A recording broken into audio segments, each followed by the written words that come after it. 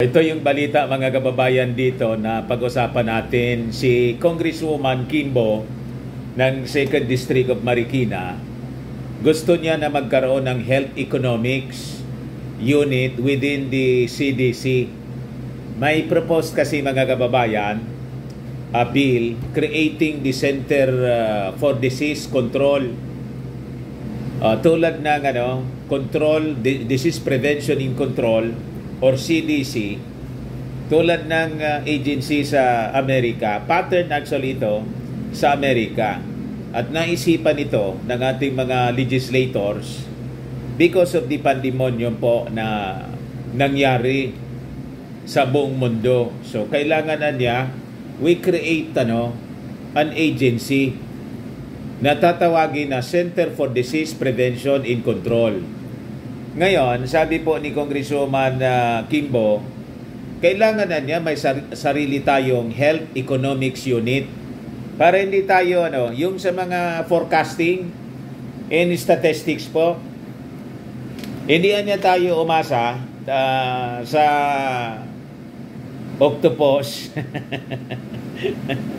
yung Octa Research, mga kababayan, tawag ko dyan, octopus. na sila yung nagbibigay ng mga data, dapat within the CDC, mayroong uh, health unit anya.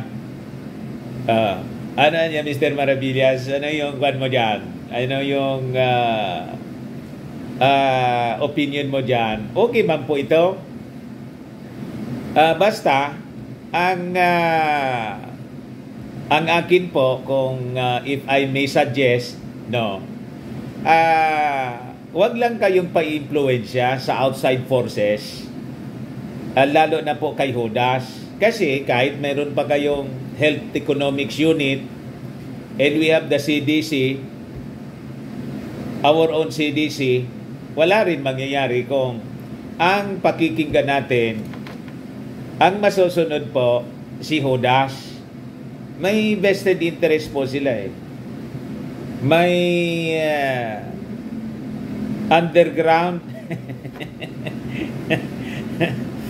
May mga pang ano sila, hindi maganda ang intensyon uh, nila mga ta, mga kababayan sa sa mundo.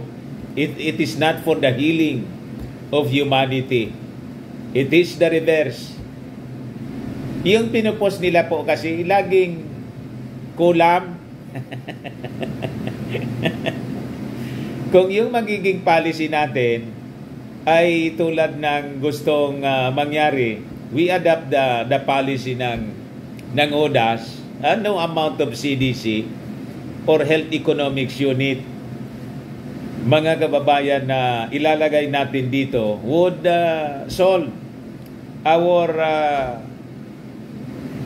problem dito po sa problema natin sa Itong pandemonyo, wala po. Ah, kasi baliktad po yung kanilang intensyon eh. Uh, you just imagine mga kababayan na wala mang sakit, nilagyan ng sakit. Dinaging sakitin tuloy. eh, ba? Sa Bible, walang ganun po. Ah, sa Bible po, ang hinihil po, yung may sakit, Tama, mali. May nabasa kayo na wala mang sakit? Ah, may nabasa kayo sa Bible, wala mang sakit. Tapos, ah, tinosok. tinosok ng ano, ah, ang sakit. Au kinor pala, kinor, uh, hinil nila, wala mang sakit, ihil. Ang may sakit yung dapat hinihil. Ginagamot yung may sakit. Yun ang normal thinking. And in fact, that is the teaching in the Bible.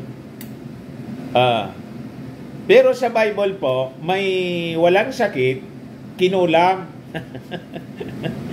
Binigyan ng sakit, kinulam eh. Ayun ang ginagawa ngayon mga kababayan the ancient uh, kulam na tinatarget yung walang sakit, yun ang ina-adapt ngayon. Kaya contact tracing, contract tracing, testing, tinitest yung wala man sakit. I-test ninyo. Kaya consistent po yung ating sinasabi. Ang dapat i-test ninyo, yung may karamdaman, may nararamdaman siya. Hindi maganda sa katawan. That is normal thinking. Uh, pag wala man nararamdaman sa katawan, bakit ninyo pinag-aaksaya ng panahon yon? Malakas ang immune system noon. Ang ibig sabihin, kaya niya na mag-survive. Ba't bibigyan mo ng panahon yung malalakas yung katawan na may sarili tayong antibodies? That is elementary science. Hindi mo man kailangang maging scientist. Di ba? para maintindihan yon, may, may sarili tayong antibodies. We have armies inside our body. Di ba ganun yon? And we know that, all of us, alam natin yon. Uh, ngayon, nawala yung tiwala natin doon sa sar- sariling proteksyon. Ah, kasi, na-brainwash tayo ng mga sinasabi nitong mga mangkukulam negosyo nila yung magbigay ng sakit. Tama mali yung ating mga ano. Kaya tingnan ninyo, ang uh, target nila yung mga walang sakit. Sabi natin mga kababayan, hanapin ninyo yung may sakit and gamutin ninyo silently without fanfare. Bakit kailangan mong ipangalandakan yung sakit? Di ba? Oh. Yung may sakit, pupunta yon sa clinic, pupunta sa ospital. Kasi may sakit siya. Normal reaction yun ng isang tao. Ang ginawa dito sa pandemonyo, wala mang mga sakit yung mga tao, pinaganap. Hinanting, rinistrict, kinulong sa bahay. Kita ninyo mga ugali niya, ng mga taong yan. Uh, going back dito, ayun ang uh, sabi ni Kimbo na maglagay niya ng Health Economics Unit. Okay man to. According to Marikina 2nd District Representative Estela Kimbo, the Department of Health currently has a weak capacity to do health economic analysis daw, like formulating possible trends and curves on the BIDCO pandemonium pandemonic, forcing the government and the public to rely on private institutions like the Okta Research. Yun na yung daldal ng daldal. Ako alam ko kung bakit uh, bigla na lang lumitaw yung Okta. Uh, nakalimutan ko lang yung isang ano, research group international. Uh, university siya na yun ang nag, naglalabas ng mga statistics, etc. Baka maalala po ninyo.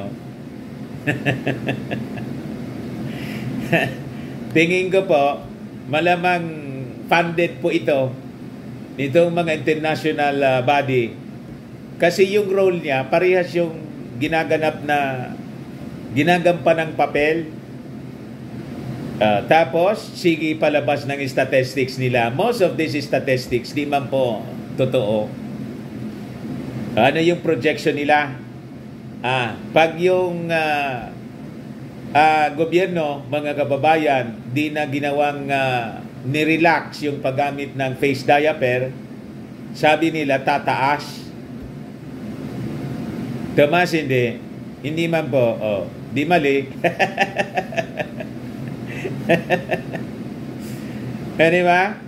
at the end of the month anya of uh, uh, November, malamang tumaas yung kaso. O ngayon, mangangalati na tayo. Ilang weeks na? Two weeks na? Na hindi na mandatory? Tumas, ano, bumaba, bumaba, o yun. Uh, ngayon, uh, hindi man tayo kontra dito na maglagay sila ng unit, health unit. Pero kung ako ang, if I may suggest, mas siguro maganda kung uh, mag-focus din po tayo as an, uh, ano, in addition to this, mag-focus tayo sa uh, pagbuo ng uh, grupo ng mga totoong health experts. We encourage our local ano scientists dito na pag-aralang maigi yung mga sakit, hindi lang itong pandemonium na to. Maraming uh, iba-ibang mga sakit na makapag-develop uh, sila ng cure. Hindi yung tox ang i-develop ninyo. Cure sa mga illnesses, yun ang dapat ginagawa. Look for ano, cure. Kung wala pang cure, then develop a cure. Mag-conduct ng mga research. Hindi nakarely lang tayo sa mga big pharma kasi ang focus ng mga big pharma hindi man po cure. Ang focus nila po business. Pag yung tao kasi ah, wala nang sakit, wala nang negosyo, gets nyo? So, kaya po sila, hindi man sila nakafocus sa cure, nakafocus sila sa talk, sa kulam. Ah, tinatarget nila yung walang sakit, protectionan niya ninyo. May nag-message sa akin, isang uh, Bicolano po, pero I think, uh, kwan siya, taxi driver yata siya, kaya nakakaikot siya dyan sa Manila. Nagsumbong sa akin kanina, Mr. Maravillas, anya, dito sa, ano, sa ruta ko na dinadaanan, ang daming anyang lamay, hindi ko anya maintindihan. Wah! Ah. At karamihan na niya, lalo doon na niya sa lugar ko mismo, sunod-sunod yung ano, lahat na niya protektodo. Sabi ko, kung ano yung itinanim, yun ang aanihin. Uh, ang itinanim mo tuklaw, ano bang asahan mong aanihin mo doon? Uh, ang tuklaw po sakit, Di ba sakit yon? Kung ano yung sakit, yun ang isasaksak sa'yo. Wala mang ganun po, dapat. You see? Uh, kaya po, tingnan ninyo, yung uh, generation, the generation of our fathers and the grandparents, na hindi also yung talks, mahaba yung buhay, yung generation na natin na na uso yung tuklaw, yun, maigsi na po. Kasi po, hindi man sa cure.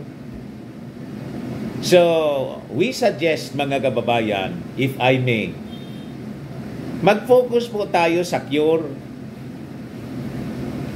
Ah, and do not rely on this ano, big pharma, huwag tayo magre-rely sa kanila. Gawa din tayo ng uh, para sa atin. And we have uh, full of ano, experts and local scientists. Ang problema sa atin po eh, pag Filipino scientist po, kulang yung tiwala natin. Mas naniniwala tayo, mga kababayan, kay Evil, Si Bill, hindi man health expert, pero mas nanimala tayo. Manufacturer po ng ano. Dahil sa pera niya, nag-invest siya rito. Uh, pinaniwalaan ng mundo. Ayun na hindi natin maintindihan eh. Computer uh, kwan po siya. ah, yun ang negosyo niya. Hindi na nga, hindi nga nakagraduate eh. Pagkatapos nagle-lecture siya tungkol sa negosyo niya ano kasi nag-invest siya sa ituan niya yung magiging boom. Ano nangyari sa atin? so, mas pinaniwalaan natin si Ebil kaysa kay ano kay Dr. Oclarit ah. Kay sino-sino pa nga yon na mga known doctors dito sa atin doon sa isang taga Sambales po na, na nakadevelop ng cure. Ayun hindi na po ano hindi na natin alam kung ano na yung nangyari doon. Sa invention niya. Sana naman itong mga taong ito na nakadevelop ng cure, ito yung pangalagaan natin. Bigyan natin sila ng pagkakataon na yung kanilang uh, na-develop magamit pakinabangan ng mga Filipino. Uh, di ba? Hindi yung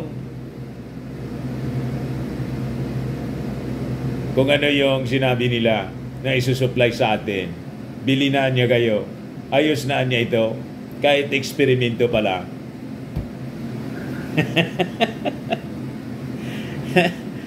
Yun ang masama mga kababayan. So, di man natin ito kinukontra. Okay naman tong proposal na may health economic analysis daw. Uh, so things for example like tracing out the curve and making prediction or trying to forecast, for example, ng mga kaso in the future, ang nangyayari niya, uh, we give that responsibility to private entities like Opta Research.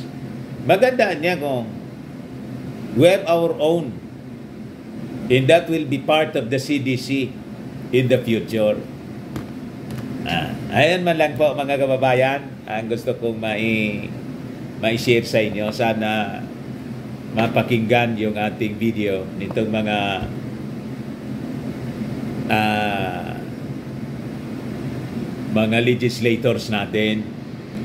Baka makita nila na tama din na niya, no? Tama talaga. Look for cure. cure ng may sakit, yun dapat ang focus natin, hindi yung yung walang sakit, yung pinakikialaman ninyo. Wala man sakit, pinakialaman ninyo. Baga lang mga kababayan, gusto ninyong itry po ito, Firmax Firming and Lifting Cream, pinapay po sa mga pulses in affected area. Ayan po sa paninigas ng mga kaso-kasuan ito naman po Automax Radiant uh, Serum uh, sa mukha, anti-aging po siya. You will look 10 years younger than your age. Yung mga cancer patients, try lang po ninyo ito. Di man siya gamot, food supplement siya. Neng siya red mixed fruit drink. Kaya lang gawa kasi siya sa goji berry. Yung goji berry po may anti-cancer properties. Ayos pa, Uh, yung mga inquiries ninyo, dumiritso na lang po kayo sa aming messenger para masagot namin agad. Ako po si Dante Maravillas. Bye-bye po. God bless.